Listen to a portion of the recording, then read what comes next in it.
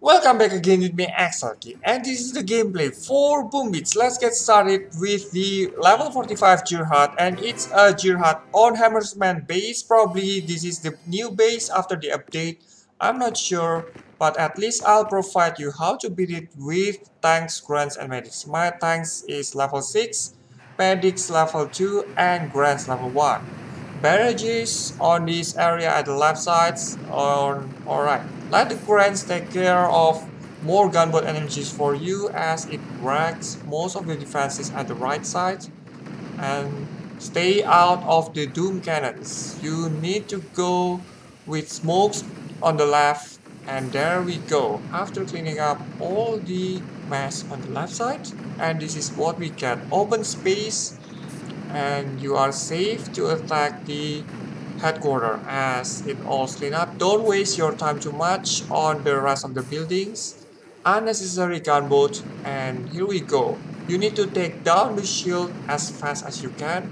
So flare it closer, flare them all closer to headquarters at this position like I've shown you right here and don't flare too close to the right and the base is right done.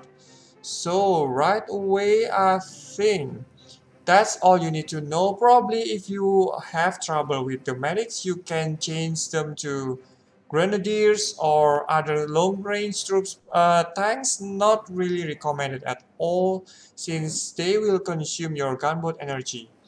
And as you can see here, all of my stats that I'll show you. Artillery level 16, barrage level 9, and you gotta have a high level armory. So that's the point of become the offensive players and the status right here gunboat energy troop damage the most necessary status to play better and so I think that's all you need to know about Gearheart. You can do it some other tricks like Zookas or yes, you can find other more of the tips from YouTube. And anyway, this is all of my gameplay for today and thank you so much for watching the video. Hope you enjoy it and don't forget to subscribe, leave thumbs up as always and goodbye!